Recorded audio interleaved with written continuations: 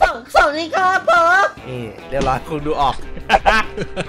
เอาแล้วครับคุณผู้ชมทุกท่านวันนี้มาไม่มีอะไรนะ ผมแบบอยากพูดไงอยากมาพูดถึงร้านเกมนะครับผมนะก่อนที่มันจะหมดยงหมดยุคนะครับผมนะคือร้านเกมเนี่ยผมพูดจริงกับผมไม่รู้ว่าเด็กปัจจุบันเนี่ยคือแม่งเคยเจอหรือเปล่าร้านเกม หรือว่าเคยไปเจอแบบแต่ร้านที่มันแบบว่าโอ้โห 40 60 อัพอะไรเงี้ยคือแบบว่าชั่วโมงละ50 บาทไอ้แต่แบบยิงโอ้โห เกมที่มึงเล่นนี่มันอาจจะเป็น Red Dead Redemption แล้วขั้นต่ำอะไรอย่างงี้นะแต่สมัยผมนี่คือแม่งแบบสุดยอดโอเคแล้วผมก็คือแบบว่าอยากให้คนที่แม่งไม่เคยได้ได้เล่นเลยอะเออนี่กูเข้าประเด็นเลยไม่เคยได้เล่นร้านเกมเลย ไม่เคยได้ลองบรรยากาศ ผมอยากให้แบบมึงลองออกไปสูตรดูนะว่าร้านเกมเป็นยังไงนะครับผมนะไม่ต้องร้านดีมากก็ได้นะครับผมนะแต่ว่าแบบอยากอยากให้เจอแบบเออคือไม่ต้องเจอแบบส้นส้นแบบกูก็ได้นะเออเพราะสิ่งที่กูจะเล่าต่อไปนี้คือมันส้นมากแต่มันก็เป็นความทรงจำที่ดีเหมือนกันนะเออเป็นความทรงจำที่แบบผมรู้สึกว่าผมชอบแล้วผมก็อยากจะแบบ อยากจะถ่ายทอดอะเออเอาแล้ววันนี้ผมมากับน้องผมด้วยนะวันนี้ไม่มีอะไรมากเดี๋ยวเล่าเลยแล้วกันว่าประสบการณ์ร้านเกมที่ผมรู้สึกว่าแบบมันตาตึงใจอะมีอะไรบ้างขั้นแรกเลย ผมเล่าก่อนเลย ร้านเกมนะสำหรับผมนะ ผมได้เข้าครั้งแรกนะครับผมนะเพราะกับเพื่อนผมนะครับผมนะชื่อกล้านะครับตัวเสเสเป็นเพื่อนรักคนหนึ่งเหมือนกันสมัยเด็ก ๆ เล่นไปไม่มีอะไรนะ ผมเล่นไปประมาณแบบสองสามปีนะไม่มีอะไรเลยนะครับชิวๆจนกระทั่งผมได้ย้ายนะครับผมนะไปอยู่ในตัวจังหวัดซึ่งผมบอกเลยว่าตัวจังหวัดเนี่ยเด็กเรียนมันเยอะขึ้น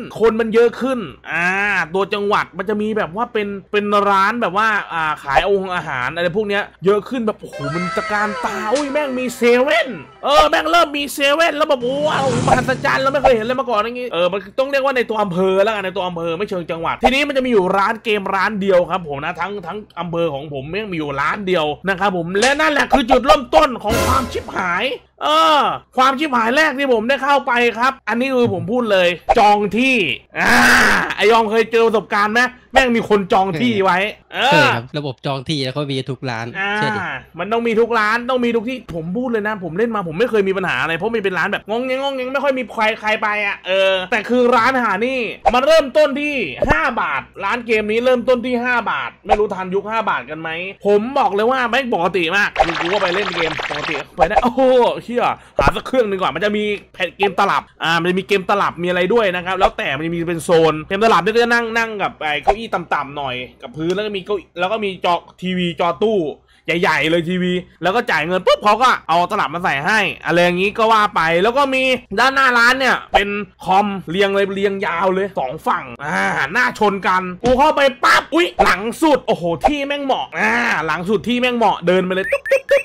เข้าไปก่อนหลังสุดขวามือต้องมีไอตัวหนึ่งนั่งอยู่นะครับแล้วก็เปิดหนังโป๊นะ ต้องมีต้องมีต้องมีหนึ่งตัวในร้าน เออแม่งเปิดหนึ่งตัวในร้านเลยน่าจะน่าจะจ็กเกอร์เกมแอบโหลดแอบโหลดแบบว่าอัพอัพไฟล์ไม่รู้เหมือนกันแล้วนั่งอยู่หลังร้านเออจะสาวอะไม่รู้แต่เราเดินไปปุ๊บท้ายร้าน อ่า ก่อนที่จะถึงโซนที่มันเป็นเกมแบบไอ้พวกคอนโซล ก่อนถึงเกมแถวแนวแถวนั้น อุ้ย หลังสุดดี มืดมืดๆหน่อย เอาละมุมนี้แหละ กูดีเลย มาวันแรกกูนั่ง ฮะ ไม่มีอะไร วันแรกคือผมมานั่งไปกูดูไม่มีอะไรนะ แต่วันที่สองเริ่มแล้วเจ้าถิ่นเข้ามา ผมก็นั่งอยู่อื้อหือกูนั่งอะ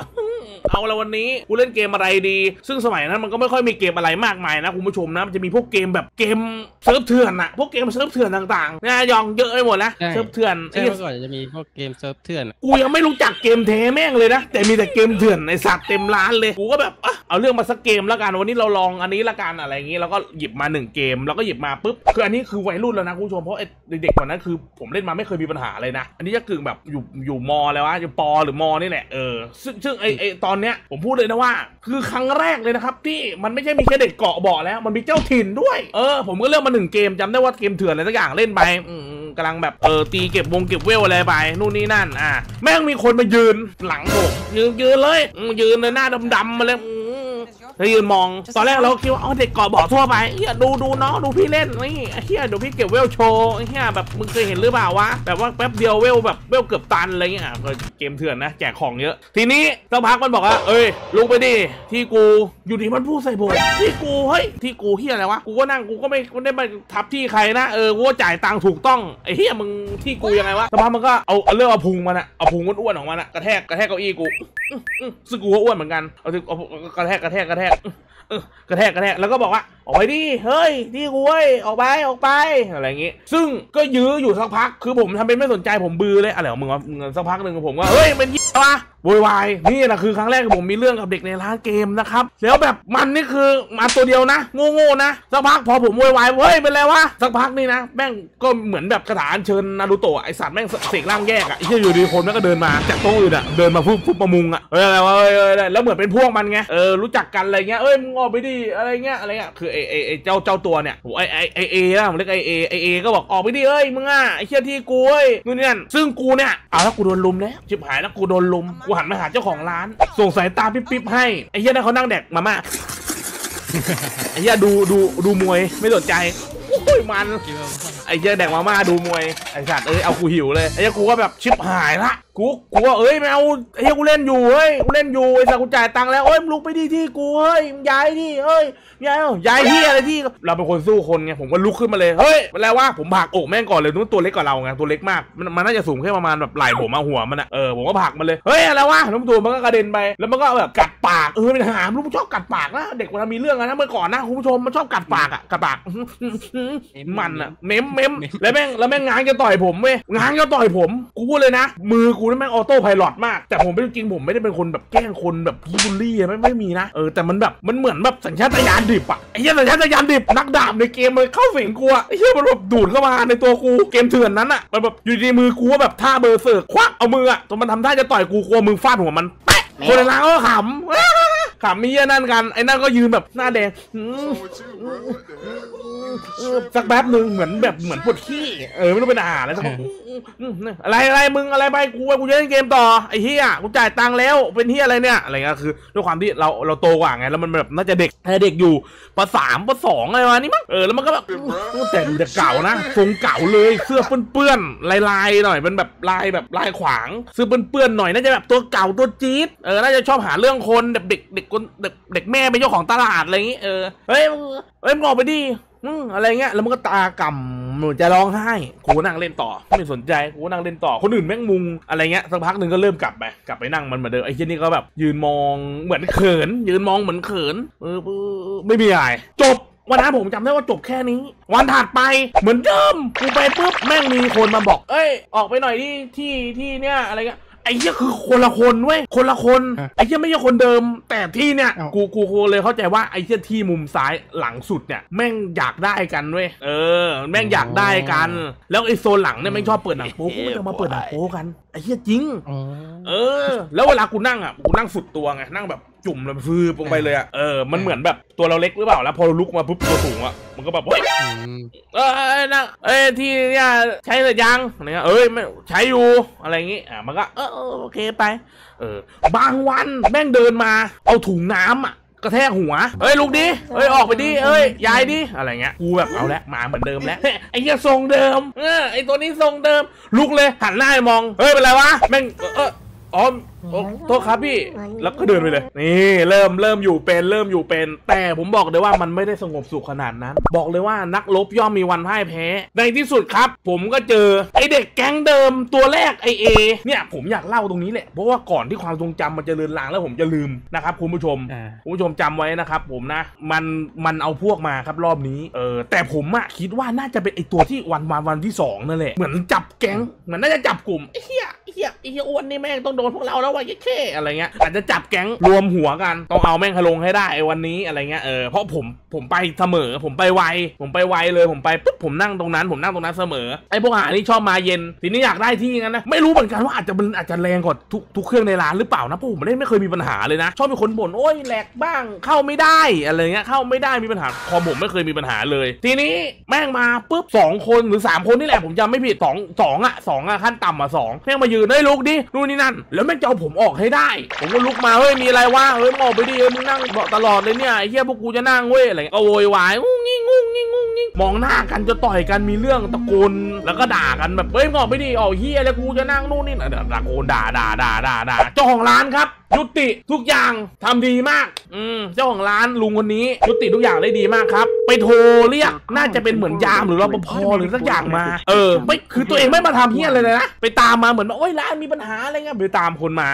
เออแล้วไอไอมันเหมือนยามหรือตำรวจหรือกูก็ดูไม่ออกมันก็สีกากีอะแต่ชุดเหมือนแต่งไม่เต็มอะเออแล้วก็ใส่หมวกน้อยๆอะเดินมา น่าจะเป็นคนเหมือนคนดูแลตลาดอะไรอย่างงี้มั้งเขาก็มาเขาก็มาแล้วแบบผมผมผมผมไม่รู้จริงนะว่าเรียกเรียกเรียกว่าอะไรนะเออแล้วทีนี้เขาก็มาปุ๊บเอ้ยพวกมึงทำอะไรวะออกไปดิออกไปดิเงี้ยเออสรุปกูอะยังไม่ได้เล่นเลยกูเพิ่งจ่ายตังค์ไปเมื่อกี้ไอแล้วกูก็ต้องออกกลับบ้านแล้วกูกลัวไง เชี่ยมันเป็นแบบตำรวจหรืออะไรหรือเทศกิจหรือเขาเรียกกูก็ไม่รู้นะเหมือนมียงมียศนะแต่ยศมันแบบแปะเล็กๆน้อยๆอะเออแล้วก็เรียกออกให้กลับบ้านไปกูก็แบบเอ้ยกลับบ้านเกเนียนไปเงียบๆแบบเดี๋ยวเขาแบบ ไอ้นั่นก็ตาแดงก่ำแค้นแค้นอะไรประมาณนี้ ก็อยากจำได้ประมาณนี้แล้วต่อไปคือไปปุ๊บก็อ่าหลังร้านเต็มบ้างอะไรบ้างก็ไม่มีไม่มีเรื่องอีกแล้วเออแต่เคยมีเรื่องจนแบบโดนตำรวจเรียกกลับบ้านนี่แหละเอาไปโมก็ได้เออแต่มันไม่ใช่ตำรวจหรอกกูว่ามันเป็นสักคนหนึ่งอะมันเหมือนเป็นคนดูแลตลาดเลยมึงเขาจ้างมามั้งเออถ้าใส่ทำเป็นใส่ยงใส่ยศดูทรงเออนั่นคือคือประมาณนี้ไอยองมีปะโดนผมเหรอหาเรื่องในร้านเกมมีไหมมี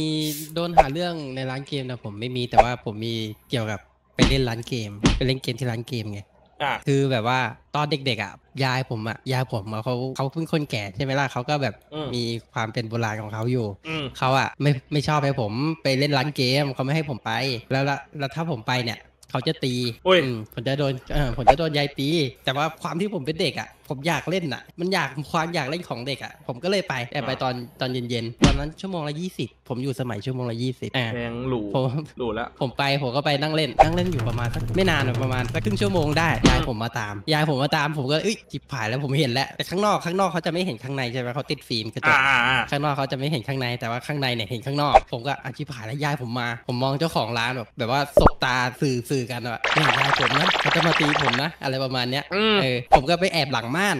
ยายผมก็เดินเข้ามาเปิดประตูเข้ามาปุ๊บผมแอบหลังม่านอยู่เพราะว่าแอบดูยายเขาก็เรียกเฮ้ยอยู่ไหนเขาเรียกชื่อผมอะอยู่ไหนออกมากลับบ้านถือไม้ถือไม้เรียวมาอันหนึง โอ้ย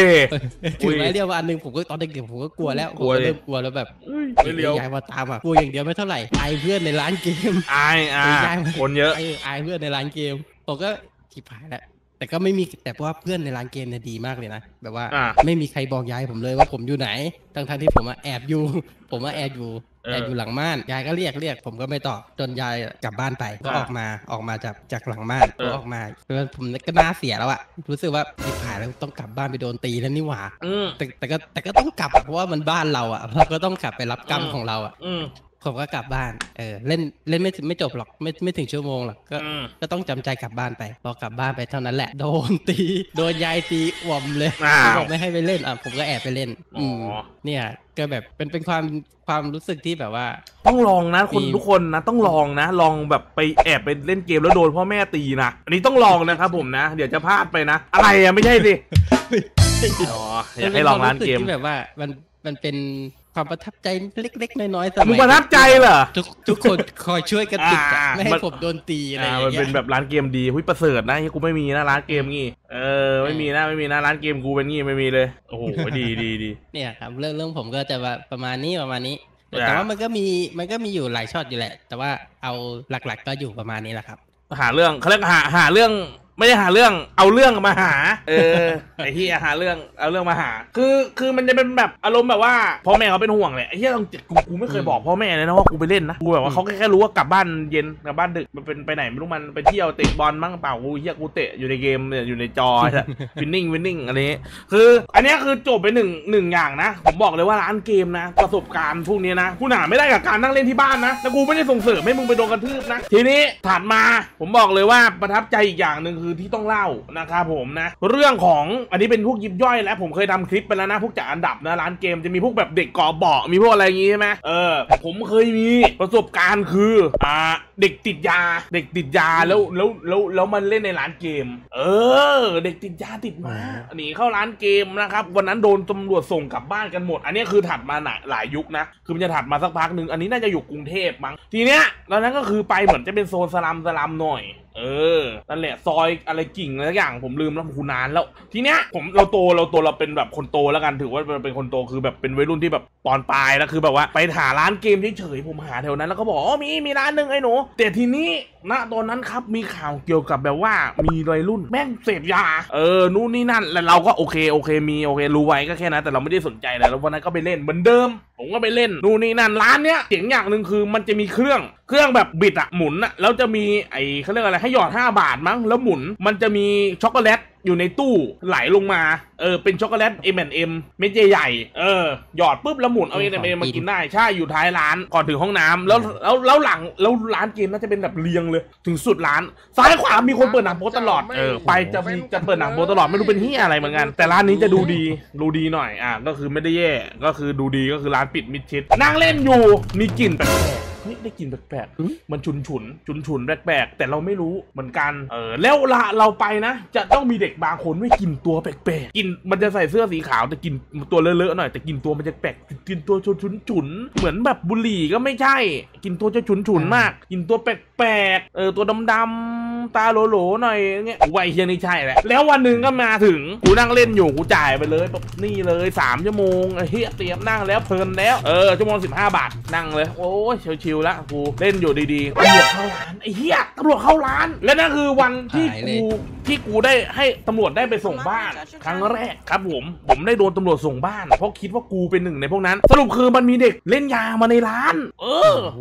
เออเด็กเล่นยามาในร้านก็คือตรวจปุ๊บแล้วไอ้เฮียนั่นแบบสะดุ้งอะแต่ไม่วิ่งนะสะดุ้งปุ๊บแล้วก็แบบมองตาถลนเลยแล้วตำรวจก็เดินมาปุ๊บปุ๊บแล้วกูโดนรวบด้วยเพราะกูนั่งอยู่ข้างมันแล้วบอกเอ้ยไม่เกี่ยว ร้อย ผมมาไอ้นี่เฉยมาเล่นเกมเฉยเฮ้ยอะไรวะอะไรนั่นแหละแล้วก็คือโดนรวบคือเขาก็บอกว่าบ้านอยู่ไหนนู่นนี่นั่นอะไรเงี้ยเออขับพาเขาก็จับขึ้นรถมอเตอร์ไซค์เออมาตำรวจมาอยู่สองสามคนมั้งแล้วไอ้เด็กนั่นก็โดนมาไปไอ้นี่ก็โดนเอาไปอะไรเงี้ยเหมือนจะมีอยู่สองคนในร้านแล้วผมด้วยหนึ่งคน เออเพราะตัวตัวโตไงแล้วก็แบบว่าทรงแบบช่วงนั้นช่วงนั้นผอมช่วงนั้นยังผอมแล้วก็แบบเขาก็เอาไปเลย เออ ทีนี้เราตัวดำส่งได้ด้วยนะเรามาตัวดำไงเราตัวดำเรามาจากไอ้บ้านนอกไงแล้วทีนี้เราก็แบบว่าเขาก็เอาไปแล้วก็บอกว่าเอ้ย ผมไม่ได้ทำอะไรเลย ผมมานี่นี่ตำรวจก็เลยมาส่ง แล้วก็เลยบอกพ่อแม่นู่นนี่นั่นเออแล้วทีนี้ที่อยู่ก็คือเขาก็บอกเขาก็บอกไป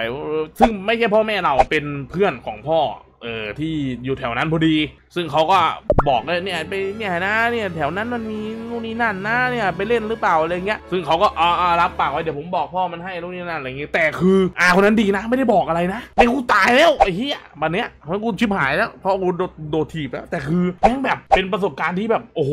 น่ากลัวมากโดนตำรวจส่งบ้านไอ้เหี้ยแล้วกูแบบไม่ได้ยุ่งอะไรเลยนะเออตำรวจไม่งก็ไม่ฟังเลยเหี้ยตำรวจกรุงเทพ ฮัลโหลแต่นั่นหลายสิบปีแล้วเป็นสิบปีแล้วก็คือแบบงงงงกับการที่แบบแกเอามาส่งบ้านอย่างนั้นเหมือนกัน เออ ก็ไม่เข้าใจเหมือนกันหลายปีหลายปีแล้วเอออันนี้คือแบบประสบการณ์เฮ้ยประสบการณ์ร้านเกม มีแต่เรื่องเฮี้ยๆอะไรไม่รู้เนี่ยโดนตำรวจส่งบ้านนี่แล้ตำรวจส่งบ้านพ่อแม่มาเจอพ่อแม่แล้วว่าไงอะพ่อแม่ไม่รู้ผมพ่อแม่ไม่รู้อืมเขาก็ไม่บอกถึงทุกวันนี้นะ เขาไม่บอกนะแต่เราไม่ได้ผิดอะไรอยู่แล้วไงถึงบอกไปก็ไม่มีอะไรไงไอสัตว์กับจ่ายเปิดปีจ่ายสามชั่วโมงเล่นครึ่งชั่วโมงไออันยองมีไหมแบบตำรวจส่งบ้านบ้างมีไหมไม่มีนะอ๋อไม่มีอ๋อไม่มีเพราะว่าร้านเกมมันอยู่แถวบ้านไงเดินก็ได้แล้วอะคุณผู้ชมอย่าลืมไปไม่ได้มีแบบอะไรขนาดนั้นอ๋อคุณผู้ชมอย่าลืมไปแบบให้หาตำรวจส่งบ้านนะครับ ประสบการณ์ดีไม่อ๋อ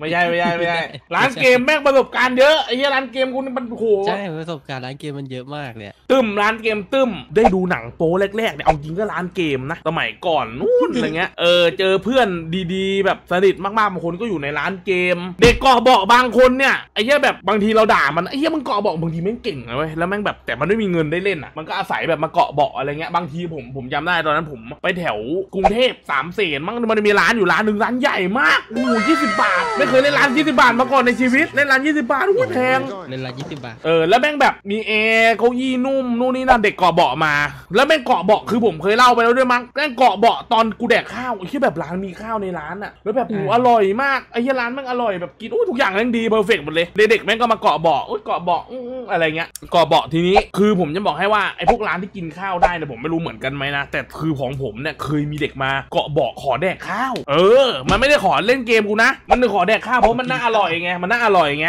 เออ แล้วผมเคยใจดีให้กินด้วย คือมันมันมันเหลือหน่อยนึงเออผมว่าจะไว้กินต่อ แต่ว่าถ้าเกิดทิ้งไว้เนี่ยเดี๋ยวว่ามันก็เย็นแล้วแอร์มันแรงไงก็แบบอ้าเอามึงเอาไปกินมันมันได้ประมาณสักของผมนะถ้าเกิดผมกินนะสองช้อนหมดแล้วไอ้เมื่อกินยืนกินยืนกินเด็กน้อยอะเออผมเคยนะ ผมเคยให้นะ แล้วทีเนี้ยเหมือนมันติดเราเลยพอเราไปบ่อยๆปุ๊บมันก็แบบมายืนข้างๆพี่ทำไรพี่เออแล้วกูไม่แล้วกูสั่งข้าวนะ ต้องขอทุกรอบจนกูไม่กล้าสั่งเออกูไม่ได้แดกไอ้เหี้ยเออไม่มีอย่างนี้เหมือนกันเด็กเด็กในนี้อุ้ยร้านนี้ร้านนี้ดีนะร้านนี้ดี อยู่ตรงแบบทางลงสะพานน่าจะไม่ผิดมัน แถวสามเสนโอ้ลืมลืมผมไม่รู้ชื่อร้านว่ะเออนั่นแหละนั่นแหละร้านนี้ดีมากใครมีประสบการณ์นั้นเล่าได้นะเออคือผมเนี่ยผมใช่ผใช่มผมเสียดายว่าเดี๋ยวร้านเกมมันจะแบบจะมูหายไปแล้วอะมันจะแบบว่ามันเปลี่ยนเกณฑ์แล้วไม่อะมีแล้วอะเออน้อยมาก คือผมอะเคยมีความฝันอยากเปิดร้านเกมเอาจริงๆนะคุณผู้ชมมันไม่รู้นะเลยเออฮาเกตอยากเปิดร้านเกมนะยองเคยใช่ไหมอยากเปิดร้านเกมชิบหายเคยใช่ไหมเคยคิดนะตอนเด็กๆผมอยากเปิดร้านเกมมากเลยออเป็นสิ่งที่ผมชอบมากอันดับต้นๆในชีวิตเป็นสิ่ง entertain ที่แม่งเจ๋งที่สุดในชีวิตแล้วมั้งคือมันแบบโห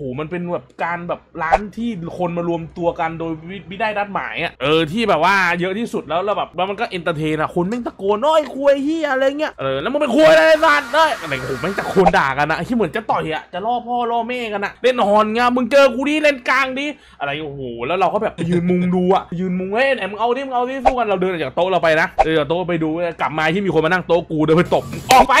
มาไงเนี่ย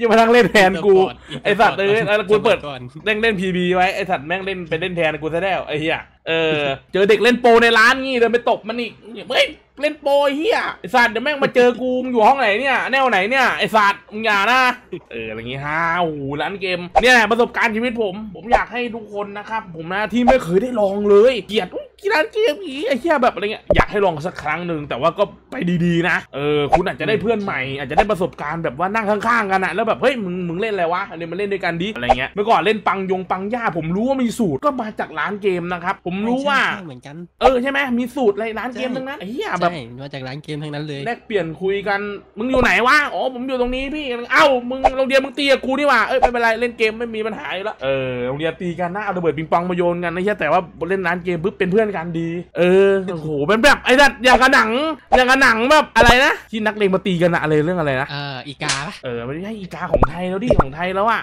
ของไทยอะ Four Four Kings ไหม Four Kings เออเหมือนอารมณ์ Four Kings อะเออแบบเสือกไปเป็นเพื่อนกันซะแล้วอะไรเงี้ยเออแต่จริงคือตีกันนะอะไรเงี้ยคือแบบโอ้โหอยู่ในร้านเกม Audition อย่างงี้ Audition ผมอุ๊ยเข้าไปจีบหญิงอย่างเดียวเล่นไม่เป็นกดกดคือแบบยังไงก็ไม่อินเออสนุกแต่ไม่อินแล้วแบบจะชอบมีคนมาดูข้างๆแล้วก็เล่นเพลงง่ายๆอะที่มันกดไปไปทำทรงง่ายๆอะแล้วเด็กก็จะมาดูวิแบบเหมือนเก่งเหมือนอะไรเงี้ย act เงี้ยอะไรอย่างงี้เออเหมือนเก่งเหมือน act เออแหล่งมั่วสุมแบบถูกกฎหมายที่มันไม่ค่อยมีอะไรไม่ดีแล้วกันผมบอกเลย ก็ไม่ดีสุดก็คือที่ผมเคยเจอนั่นแหละเออไม่รู้กลิ่นอะไรเหมือนกันนะผมว่าแม่งต้องแอบมาแบบดูดแอบอะไรอย่างงี้เปล่าในร้านไม่รู้นะเพราะร้านมันก็แบบไม่ใช่แอร์ไงแอร์พวกหวามันเปิดเปิดมันเปิดโล่งอะเออไอร้านยี่สิบอะมันมีแต่ร้านมันยี่สิบแอร์ไหมอะนะที่จะแอร์ร้านยี่สิบเท่านั้นแหละที่แอร์เออเออของผมอะยี่สิบบาทนะแอร์โอเคครับวันนี้เดี๋ยวไปก่อนแล้วกันนะสำหรับร้านเกมในความทรงจำนะครับผมนะพอดแคสต์อะไรวะเนี่ยนะครับผม เออแล้วเรียกรายการดีอะไรนะ คุย คุยอะไรวะเนี่ย อ่าเออรอหยอกหยอกหยอกพอดพอดแคสต์อะไรวะเนี่ยวันนี้ลาไปก่อนแล้วกันนะครับผมนะหวังว่าคนที่ไม่เคยได้ลองต้องลองไปลองนะครับผมนะมันเป็นอะไรที่ดีมากนะครับ แต่ว่าไปดีๆนะไม่ไม่ใช่แบบว่าไปแบบอยากจะเจอเรื่องราวแบบพวกผมนะแบบไปหาเรื่องแม่งเลยแต่เดินไปชนเก้าอี้เขาเอ้ยมาจับส่งตำรวจแม่งเลยนะระวังนะมันไม่ได้ขนาดนั้นนะเดี๋ยวนี้มันบ้านเมืองมันเปลี่ยนไปแล้วนะครับแต่ก็อยากลองอยากให้ลองว่าไอ้เหี้ยร้านเกมมันเป็นอะไรที่แบบว่ามันดีอะ เฮียในสักครั้งในชีวิตต้องไปร้านเกมนะครับ เออ บอกพ่อบอกแม่ไว้ด้วยนะเผื่อมึงแบบตายหงตายหาในนั้นไปนะครับนะเอใช่อใช่อย่าลืมนะกลับมาโดนตีไปเอรู้อนะมาโดนตีนะ เออวันนี้ลาไปก่อนสวัสดีครับ สวัสดีครับ